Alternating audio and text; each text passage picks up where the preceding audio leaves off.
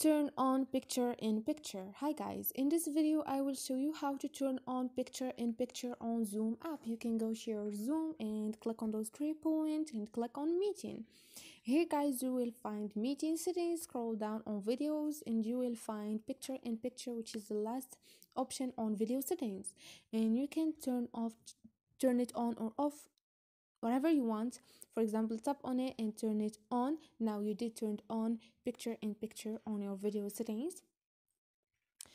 So hope this video was helpful for you. If it was don't forget to subscribe and like the video and see you on the next video